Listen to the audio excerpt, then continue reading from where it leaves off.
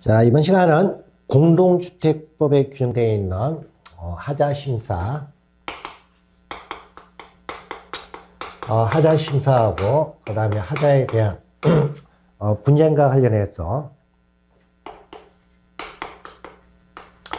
어, 분쟁과 관련된 조정과 관련된 위원회. 자, 그래서 줄여서 뭐 하자심사 분쟁 조정 위원회. 자, 이렇게 되어 있는데 뭐 줄여서 그냥 하자 분쟁 조정 위원회 이렇게 표현합니다.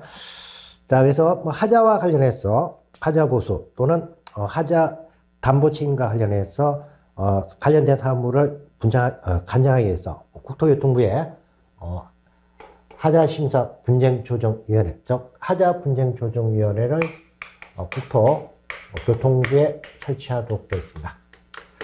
그 다음에 이제 사무와 관련해서 하자 심사하고 그 다음에 하자와 관련된 분쟁 조정입니다. 어, 하자 심사는 어, 하자에 해당된지 여부, 즉 하자 여부를 판정하는 어, 이와 같은 업무를 하자 심사 업무 이렇게 표현하고 그리고 사업 주체하고 입주자 대표의 등 하자 여부에 대한 분쟁과 관련해서 조정 뭐 이런 업무가 해당되는 위원회 어, 간장 업무에 해당이 되겠습니다. 자, 그래서 뭐 위원회 업무 보시면 하자 여부에 대한 판정 진행인데 하자 여부에 관한 판정과 관련된 업무를 하자 심사라고 합니다. 그 다음에 하자 담보 책임하고 하자 보수에 관한 뭐 사업 주체하고 그 다음에 보증서 발급 기간 그리고 입주자 대표하고 임차인 등 간에 뭐 분쟁과 관련해서 조정, 재정, 조정하고 재정 그리고 하자 책임 범위에 대한 사업 주체하고 설계자, 감리자 간의 분쟁에 대한 조정하고 재정 뭐 이런 업무가 위원회 이제 어, 업무 범위에 해당이 되겠습니다. 자 그리고 이제 하자 판정과 관련된 기준은 뭐 대통령령으로 따로 정하도록 되어 있습니다. 자 그리고 하자 여부에 대한 뭐 하자 여부 판정할 때 어, 하자 여부 조, 사와 관련해서 하자에 해당된 여부 조사를 할 때는 어, 현장 실사를 하도록 되어 있습니다.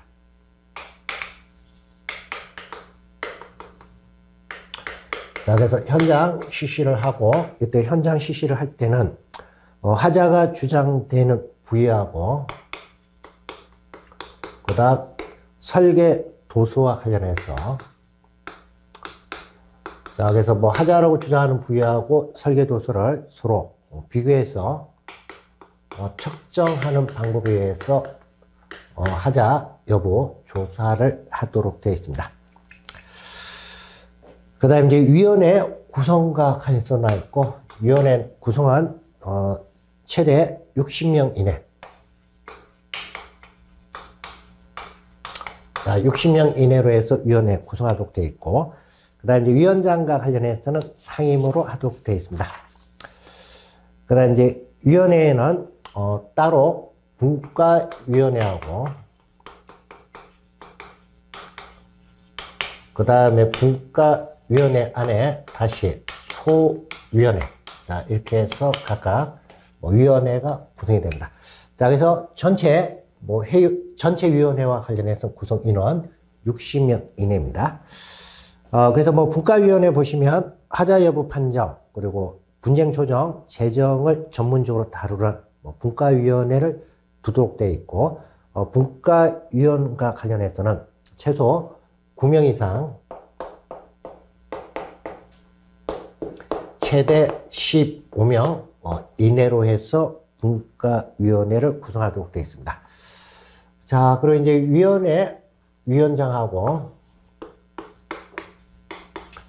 그 다음에 분과위원회 어, 위원장과 관련해서는 해당되는 위원장은 국토교통 장관이 각각 이제 위원장과 관련해서는 임명을 하도록 되어 있습니다.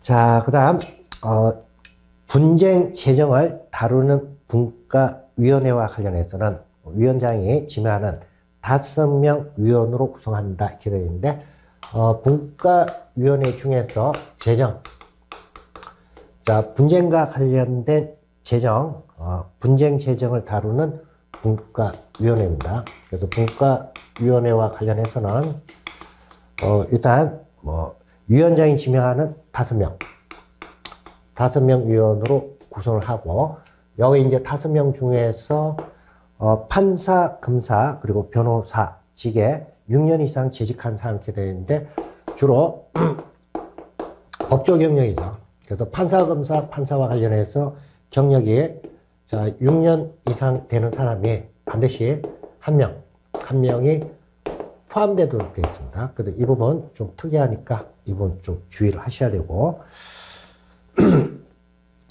그 다음 소위원회와 관련해서 나있다. 그 소위원회는 구성 인원이 최소 3명 이상, 그리고 최대 5명 이하 범위에서 소위원회를 구성을 하도록 되어 있습니다. 그리고 소위원회 위원과 관련해서는 위원장이 분과위원회 위원 중에서 각각 소위원회 위원장을 지명을 하도록 되어 있습니다. 자, 그래서 이따 좀 주의하시고, 어, 그 다음, 하자분쟁조정위원회 위원, 뭐 전체 위원이 60명 이내입니다. 여기 이제 60명 중에서 마찬가지로 법조 경력, 즉 판사, 검사, 변호사와 관련해서 그 경력이 6년 이상이 되는 위원이 전체 위원 중에서 9명 이상, 9명 어, 이상이 포함이 되도록 되어 있습니다. 그래서 어, 전체 분쟁조정위원회 관련해서 위원, 뭐 법조 경력 6년 이상 위원 몇 명 이상이 포함된 9명 이상이 포함되도록 되어 있습니다. 그 부분 좀 주의하시면 되겠습니다. 자, 그 다음에 위원 중에서 공무원이 아닌 어, 위원과 관련해서는 임기 2년으로 하고 뭐 보궐위원과 관련해서 임기는 전임자 뭐 남아있는 기간으로 하도록 되어 있습니다. 자, 그리고 뭐 나머지 일단 관련된 내용 각각 교재 나 있는 내용 참고하시면 되겠습니다. 자, 그 다음에 이제 위원회 소집과 관련해서 나 있습니다. 그래서 전체 위원회하고 분과위원회 그리고 소위원회 소집은 각각 위원장이 하도록 되어 있습니다. 어, 그 다음 이제 전체 회의와 관련해서 뭐 하자 분쟁 조정 위원회는 뭐 의사에 관한 규칙의 제정, 개정, 폐지와 관련해서는 어, 전체 위원회에서 뭐 제정위원 가반수 출석으로 개의하고 출석위원 가반수 찬성으로 의결을 하도록 되어 있습니다. 그 다음 이제 분과위원회가 설치가 되면 분과위원회 뭐 회의와 관련해서 뭐 심의 의결 관련해서는 구성원 가반수 출석으로 개의하고 출석위원 가반수 찬성으로 의결을 하도록 되어 있습니다. 자, 그 다음 이제 소위원회와 관련해서 어, 심의 의결할 수 있는 사건과 관련해서 나 있습니다. 어, 소 위원회에서 심의할 수 있는, 심리할 수 있는 사건, 대상, 뭐, 보에서 이제 다섯 가지 나와 있습니다. 어, 그 중에 이제 첫 번째, 어, 천만 원 미만의 소액 사건 이렇게 되어 있습니다.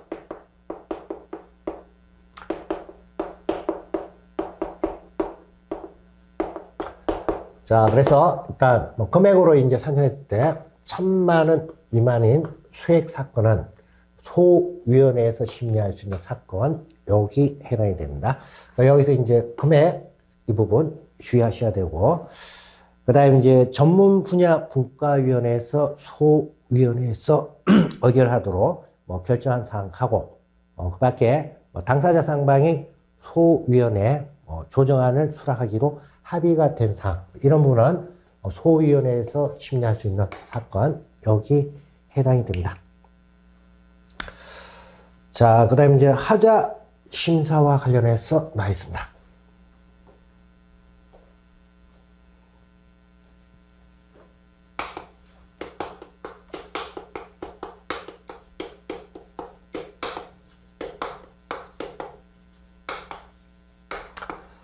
어, 하자 심사는 어, 하자 여부, 하자 여부, 즉 하자에 해당되냐 안 되냐 이와 관련해서 판정하는 게 하자 심사입니다.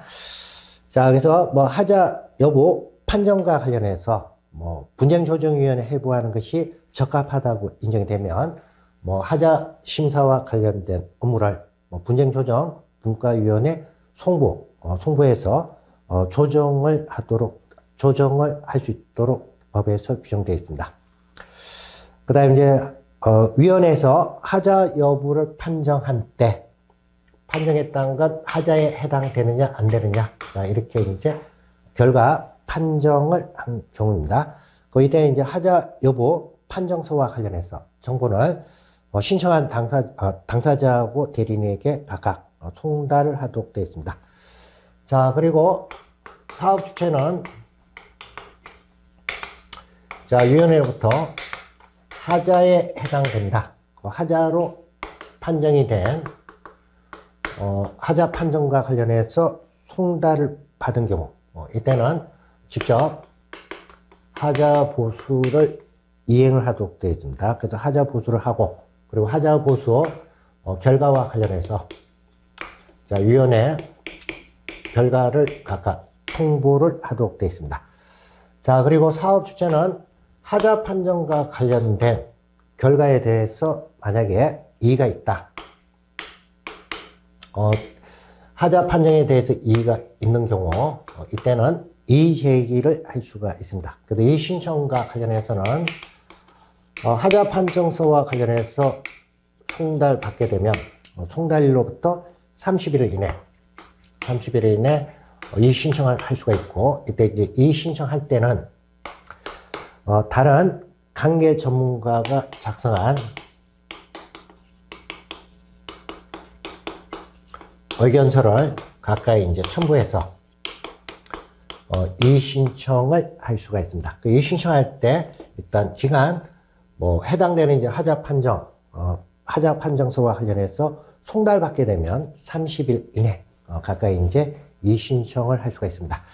자, 그리고 이제 이 신청 있게 되면 어, 분쟁조정위원회에서는 어, 심사를 한 어, 분, 조정위원회가 아니고 다른 분과위원회를 통해 가지고 다시 어, 재심사, 재심사를 하도록 되어 있습니다. 자, 그래서 뭐 다른 분과위원회에서 재심의를 하도록 되어 있고, 자, 그 다음에 이제 다른 분과위원회에서 재심, 재심의한 결과가 어, 당초 어, 심의 결과와 관련해서 변경을 하고자 합니다. 그럼 이때는 요건이 어, 제적위원 어, 과반수가 출석하고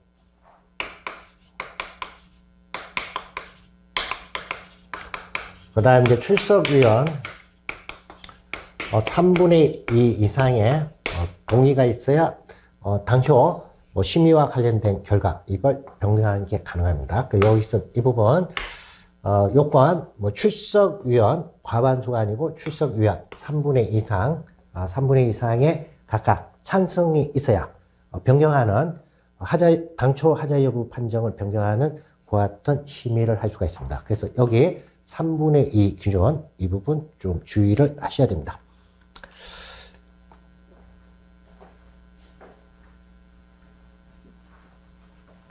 자, 그 다음 이제 하자 분쟁과 관련된 내용입니다.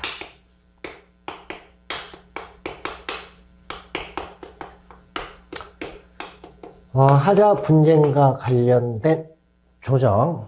그래서 뭐 하자 분쟁 조정과 관련해서는 어, 하자 담보 책임에 대한 뭐 사업 주체하고 입주자 대표 간의 각각 분쟁 조정하거나 또는 하, 어, 하자 책임 범위에 대해서 사업 주체하고 설계자, 뭐 감리자와 관련해서 조정, 조정 절차를 완료를 하게 되면 어, 해당된 위원회에서는 어, 조정안을 작성해서 어, 당사자 또는 대리인에게 어, 조정안을 제시를 하도록 되어 있습니다. 자, 그래서 당사자 또는 대리인에게 뭐 조정안 제시를 하게 되면 어, 당사자, 즉 제시받은 당사자는 어, 제시일로부터 30일 이내 어, 조정안 수락 여부와 관련해서 각각 통보를 하도록 되어 있습니다. 자, 그리고 30일 이내 수락 여부와 관련해서 별도의 통보가 없는 경우 이때는 조정안을 수락한 것으로 수락한 것으로 의제를 하도록 되어 있습니다. 자 그리고 조정안이 수락 또는 수락 의제가 돼서 뭐 위원회에서 조정서를 작성을 하는 경우. 자, 이때는 어, 조정서에 기재된 내용대로 해서 어, 재판상 하에가 자, 법률상으로 이제 재판상 하에가 각각 성립, 어, 재판상 하에하고 동일한 효력이 있는 걸로 의제가 되도록 되어 있습니다. 자, 그래서 일단 절차 좀 주의하시고, 어, 수락 여부에 대해서 통보 기간 30일이고, 뭐, 기간 내 통보하지 않으면 수락이 된 걸로 의제가 됩니다. 그리고 이제 당사자가 수락 또는 수락 의제가 된 경우, 위원회에서 조정서 작성하도록 되어 있고, 뭐 조정서 작성이 되게 되면 조정서 내용대로 법률상으로 이제 재판상 하에가 성립된 걸로, 즉, 재판상 하에하고 동일한 효력이 있는 걸로 인정되도록 되어 있습니다. 그래서 이 부분 절차 좀 주의를 하셔야 됩니다. 그 다음 하자 분쟁과 관련해서 어, 재정과 관련해서 나와 있습니다. 자, 재정 절차는 어, 위원회에서 뭐 당사자 등을 직접 신문, 그 분쟁 내용에 대해서 직접 신문을 하고 그에 따른 결과를 위원회에서 결정하는 뭐 그와 같은 절차가 재정 절차다 이렇게 되어 있습니다. 자, 그래서 뭐 재정 절차와 관련된 의미 그분 좀 주의하시고 그다음 이제 분쟁 조정 신청이 있다 하더라도 뭐 조정 절차로 다루는 것이 합리적이다. 그럼 이때는 뭐 위원회에서 분쟁 조정에 각각 뭐 해부하는 것도 가능합니다. 자, 그리고 이제 분쟁 조정에 해부된 사건이 어, 당사자 간의 합의가 이루어지지 않은 경우, 이때는 어, 처음처럼 뭐 재정 절차를 계속 진행을 하도록 되어 있고, 그 다음 이제 조정 절차에서 당사자 간의 합의가 이루어지게 되면, 어, 재정 신청은 철회가 된 걸로 봅니다. 그 다음 이제 재정 절차가 완료가 되게 되면, 어, 재정, 재정서를 위원회에서 이제 작성하고, 어, 재정서 청구를 어, 당사자에게 송달을 하도록 되어 있습니다. 그 당사자나 또는 대리인한테 송달하고, 송달된 이후, 자, 60일입니다. 어, 60일 이내 어, 재정 신청된 내용과 관련해서 뭐 소송 제기가 없거나 또는 60일 이내 어, 재정 신청된 사건과 관련해서 소송이 철회가 된 경우 이때는 재정서에 기재된 내용대로 마찬가지로 재판상 하해가 성립이 된 걸로 각각 의제를 하도록 되어 있습니다. 자, 그래서 뭐 효력과 관련해서는 일단 뭐 조정이나 어, 재정과 관련해서는 각각 어, 관련된 절차가 끝나면 뭐 재판상 하해, 하해하고 같은 효력이 있는 걸로 의제가 되도록 되어 있습니다. 자, 그 다음에 이제 처리 기간과 관련해서 나와 있습니다. 자, 위원회에서는 일단 하자 심사와 관련된 청구, 신청, 하자 심사, 그 다음 하자. 어, 분쟁과 관련해서 조정 관련해서 각각 신청이 있는 경우 그 다음 하자 분쟁과 관련해서 재정 신청이 있는 경우 어, 심사하고 분쟁 조정과 관련해서는 신청이 있게 되면 절차는 60일 이내 완료하도록 되어 있습니다. 어, 그리고 해당되는 이제 부위가 뭐 공용 분일 때는 기간이 60일이 아니고 90일, 90일이 정리됩니다. 그 다음에 이제 분쟁과 관련해서 재정 신청이 있게 되면 절차 완료는 150일 이내 완료하도록 되어 있고, 그 다음에 이제 대상 부위가 어, 공용 분인 경우, 이때는 어, 마찬가지로 30일 어, 가산해서 180일 이내 절차 완료를 하도록 되어 있습니다. 자, 그리고 이제 부득이한 사유가 있으면 기간 연장이 가능하고 기간 연장과 관련해서는 30일 범위에서 기간 연장하는 게 가능합니다. 자, 그래서 일단 처리 기간, 절차 완료 기간 이 부분 자 개정된 항이기 때문에 정확하게 기억하고 계셔야 됩니다. 어, 그 다음에 이제 기간 연장과 관련해서는 한 차례 이제 연장할 수 있다 이렇게 되는데 연장하게 되면 30일 이내, 30일 이내 연장하는 게 가능합니다. 어, 그리고 이제 조정 등의 절차, 뭐 조정이나 재정 절차 개시하기 전에 뭐 이해관계인이나 하자 진단 시한 안전 진단 기관으로부터 각각 뭐 의견, 의견을 듣도록 되어 있습니다. 자, 그 다음에 이제 분쟁 조정 또는 재정 등과 관련해서 자, 신청이 있게 되면 어, 위원회에서는 어, 위원회에서는 어, 당사자 일반으로부터 신청 등이 있게 되면 위원회는 신청 내용과 관련해서 어, 상대방에게 신청 내용과 관련해서 통지하도록 되어 있습니다. 자, 그래서 입주자 대표가 사업 주체를 대상으로 해서 뭐 분쟁 조정 등을 신청했다. 그러니까 이제 위원회에서는 상대방, 즉 사업 주체에게 신청 내용과 관련해서 통지하도록 되어 있고, 그 다음에 통지받은 상대방은 어, 답변서 제출, 즉 조정 신청된 내용에 대해서 답변서 제출하도록 되어 있습니다. 그 답변서는 특별한 사유가 없으면 10일 이내 어, 답변서를 제출하도록 되어 있고 또한 상대방은 어, 조정 등의 신청이 있으면 반드시 어, 조정에 응하도록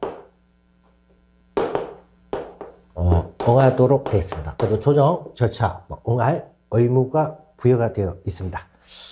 어, 그리고 입주자가 어, 조정 신청 내용에 대해서 통지를 받고 조정기일에 출석하지 않은 경우 이때는 위원회에서 직권으로 조정안을 결정하고 각각 그 조정안을 어, 제시를 할 수가 있습니다. 자, 그 다음에 이제 하자 분쟁 조정위원회 뭐 운영하고 그 다음 사무 처리와 관련해서는 업무 위탁을 하도록 되어 있습니다. 그래서 업무 위탁 받는 기간이 어, 국토 안전관리원입니다. 어, 국토 안전관리원이 자 종전에는 한국시설 안전공단이었습니다. 근데 명칭이 한국시설 안전공단에서 국토 안전관리원으로 명칭이 변경이 되었습니다. 그래서 일단 어, 여기 이제 위탁받는 기간 명칭 자, 탄다식 대비해서 일단 주의를 하셔야 됩니다. 자, 그 밖에 하자 진단하고 하자 감정과 관련해서 나와 있습니다.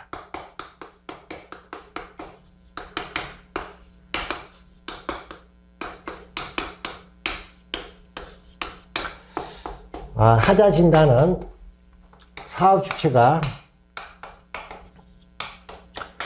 자 입주자 대표의 등이 주장하는 뭐 청구한 뭐 하자가 어, 실제로 이제 하자 범위에 해당되는지 자, 이와 관련해서 판단하기 위해서 실시하는 게 하자 진단입니다. 하자 진단은 사업 주체하고 입주, 입주자 대표 등이 협의해서 신청하는 겁니다. 그래서 사업 주체 등의 하자 보수 청구에 대해서 이의가 있는 경우 이때는 입주자 대표 등하고 협의해서 어, 각각 하자 보수 책임에 해당되는 하자 범위에 해당되는지 여부와 관련해서 어, 의뢰를, 하, 의뢰를 할 수가 있습니다. 그래서 이때 의뢰를 하게 되면 절차상으로 하자 진단이 됩니다. 그 다음에 하자 감정은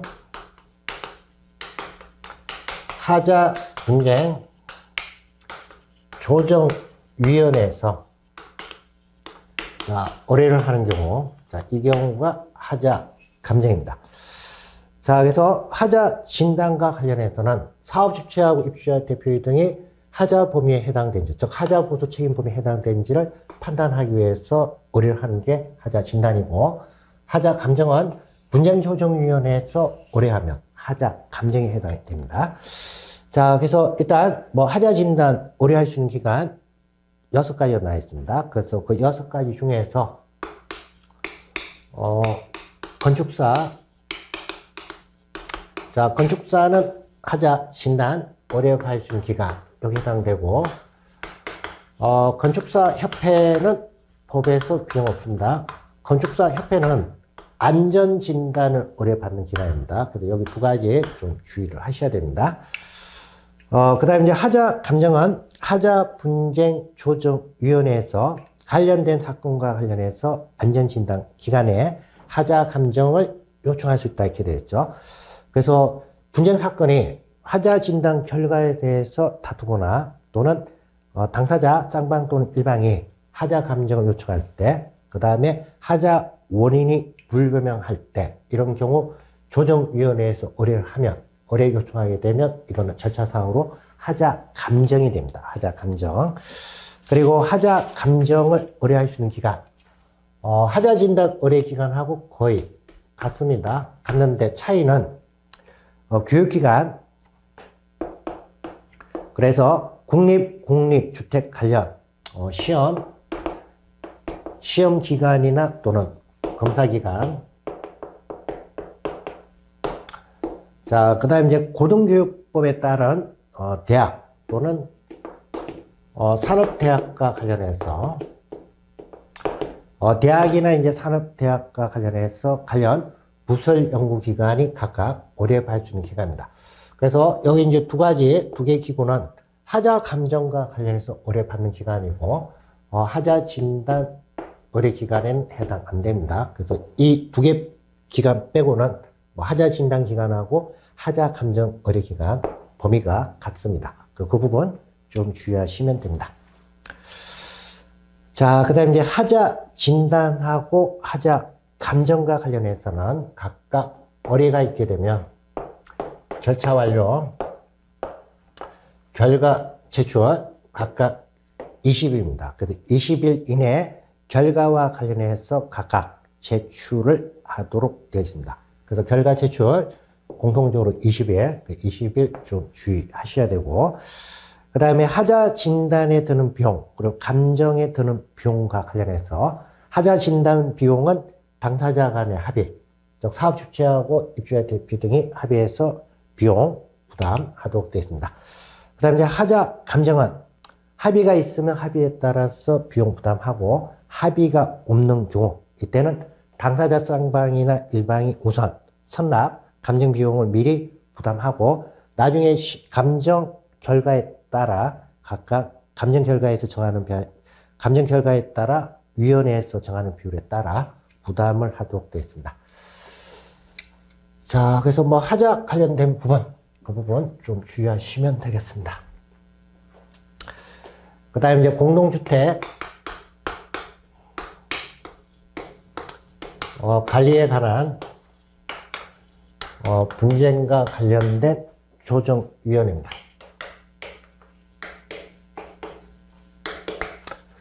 자, 그래서 분쟁 조정위원회인데 분쟁 대상이 공동주택 관리와 관련된 분쟁입니다. 자, 그래서 하자와 관련된 분쟁은 여기 공동주택 관리 분쟁 조정위원회에서 심의 의결하는 사항이 아닙니다. 그래서 하자 분쟁과 관련된 건 좀 전에 봤던 하자 분쟁 조정위원회에서 하는 거고 여기 이제 분쟁 조정은 공동주택 관리 관리에 관한 분쟁입니다.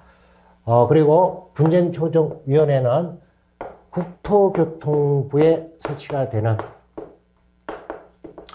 어, 중앙분쟁조정위원회하고 그 다음 시군구에 설치가 되는 어, 지방분쟁조정위원회. 자, 그래서 두 가지로 구분이 됩니다.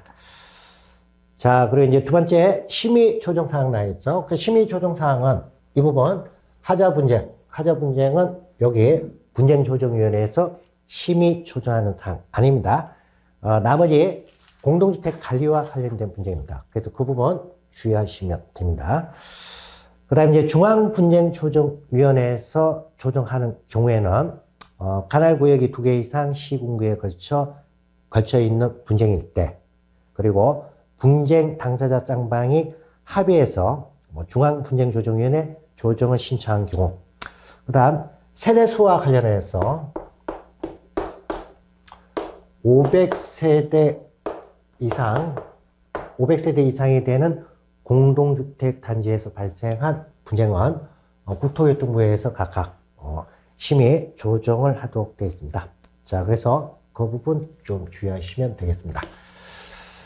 자, 그 다음에 이제 중앙 분쟁 조정위원회는 구성이 최대 15명 이내로 해서 구성을 하도록 되어 있습니다.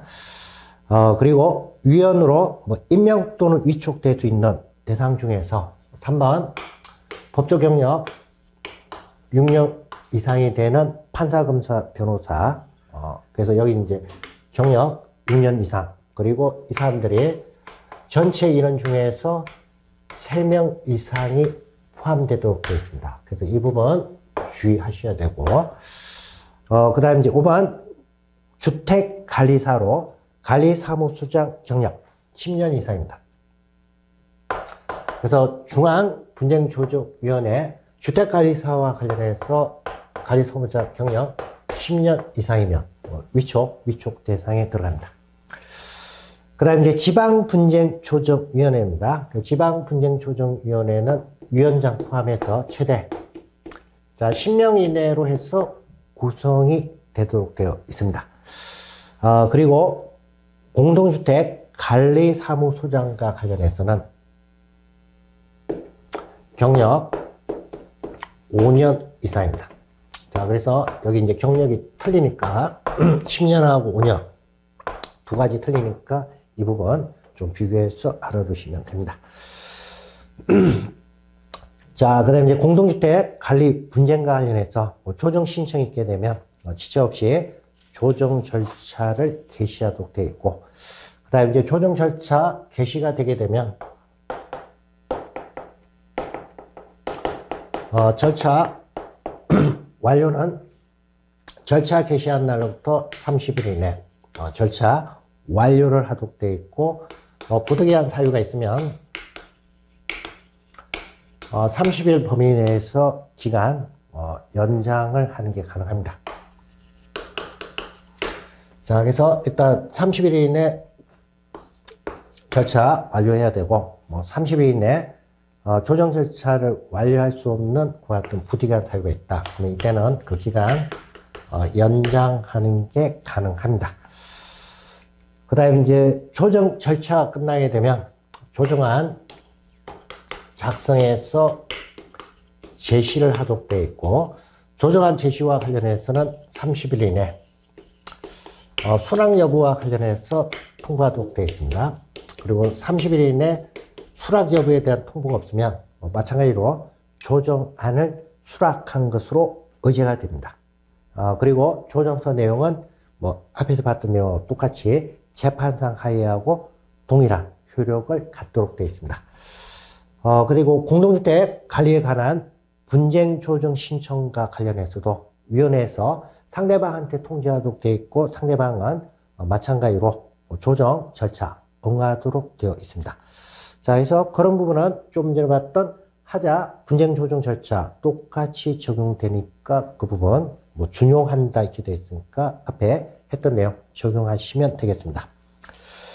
그 다음에 중앙분쟁조정위원회는 어, 조정 신청이 있다 하더라도 성질상 뭐 조정하는 것이 맞지 않거나 부당한 목적으로 신청이 되어 있으면 조정 절차 진행, 진행을 거부할 수가 있습니다. 그 다음에 이제 분쟁조정위원회 조정 신청된 이후 한쪽에 소송을 제기하면 조정 처리 절차 중지를 하도록 되어 있습니다. 자, 그래서 일단 공동주택 관리 분쟁 조정 위원회 관련된 내용, 뭐, 그에 대해서 각각 좀 주의를 하시면 되겠습니다. 어, 그 밖에 협회, 그리고 벌칙과 관련해서 나와 있습니다. 그 벌칙이나 협회 부분은 어, 여러분들이 교재 나 있는 내용을 각각 한 번씩 어, 참고하시면 되겠습니다. 자, 그래서 뭐 공동주택 관리와 관련된 공동주택 관리법과 관련된 내용은 여기까지 하도록 하겠습니다. 수고하셨습니다.